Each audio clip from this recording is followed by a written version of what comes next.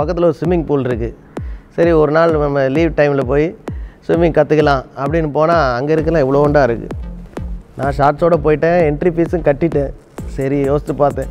இது வந்து ஒத்து வராதுன்னு. அப்புறம் அப்புறம் நமக்குள்ளே ஒரு காரியத்தை எடுத்துட்டோன்னா அதை கண்டிப்பாக செஞ்சிடணும். சோர்ந்து இருக்கும் உலகை உற்சாகப்படுத்துவோம் வா.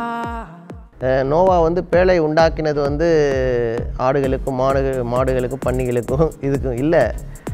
ஆண்டவர் தெளிவாக எழுதி கொடுத்துருக்க குடும்பத்தை ரச்சிக்க செல்வத்தை காட்டிலும் செல்வாக்கு ரொம்ப முக்கியம். நூறு பேர் இதில் வந்து இன்வால்வ்டாக இருக்கணும்னு நினச்சிங்கன்னா அதில் ஒரு நான் முப்பது நாற்பது பேர் தான் ஒழுங்காக செயல்படுவாங்க. பட் அந்த முப்பது நாற்பது பேர் செயல்பட வைக்கிறேன் பாருங்கள் அதுவே ஒரு பெரிய ஒரு ஆசீர்வாதம்.